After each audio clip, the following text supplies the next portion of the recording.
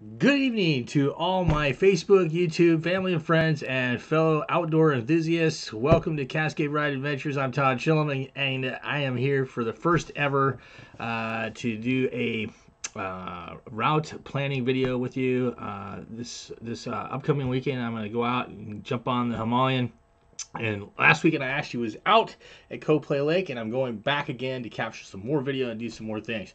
But I thought I'd just kind of go over some material with you real quick, kind of share with you what the route plan is, some highlighted uh, details about uh, just route planning in general, and uh, yeah, get, uh, get you all amped up for uh, taking a look at some of the video that I'm going to do.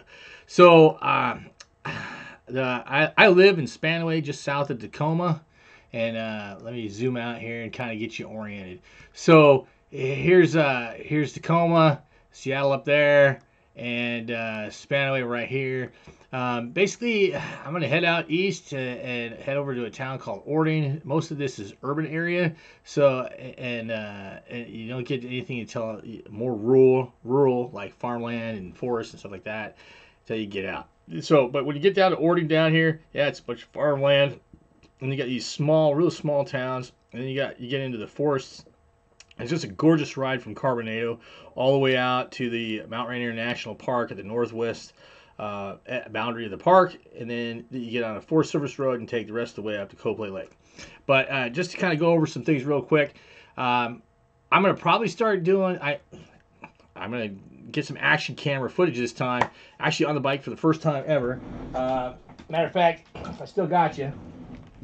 I got the action camera helmet mount and I'll actually be packing my action camera on the front so you actually see video of me riding this upcoming weekend. Um, I'm also bringing the I'm also bringing the drone.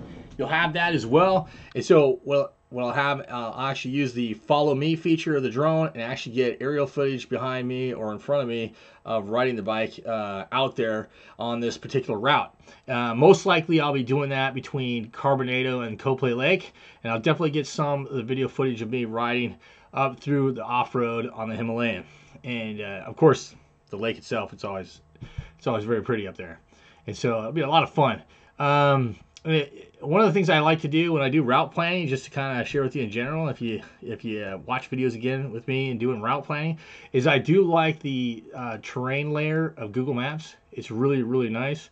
Um, so that helps me get a sense of you know where things are at, where you know ridges, uh, valleys, those kinds of things. You can see. Uh, you know, Orting obviously in a valley, and you're kind of going through that all the way to South Prairie, Wilkeson, Carbonado, um, you get up here on a ridge a little bit, and then you drop back down across the Carbon River, and you start to climb there in the last part of that forest road uh, up to Coplay Lake, which uh, is a lot of fun. Um, a couple interesting highlights. Uh, one, Carbonado, uh, right here at the bridge crossing. There's a lot of dis- free dispersed camping down there for people that enjoy uh, you know, free camping. There's lots of free camping right down here in this particular area. It's kind of nice because I see uh, people ride motorcycles down there and other ATVs, UTVs, that kind of stuff. Um, and so a lot of fun down there for folks that enjoy that, that kind of stuff, car camping and stuff. Uh, really cool. Uh, they also feature a great pizza place over in Wilkeson. Uh, there's a restaurant out there and a couple of small taverns. Really fun places to visit out there.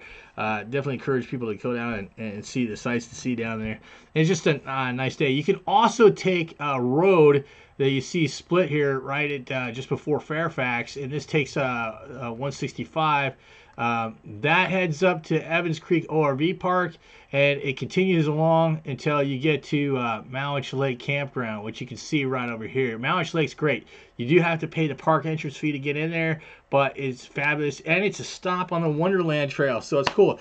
If you go up to Mowich Lake uh, and visit Mount Rainier National Park up there, lots of trails that you can go ex- explore up there.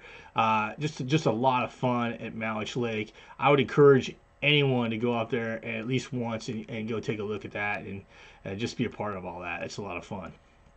Um, but yeah, that's it for the route. You know, I'm gonna head down here and I'll get video footage in, uh, you know, this upcoming weekend.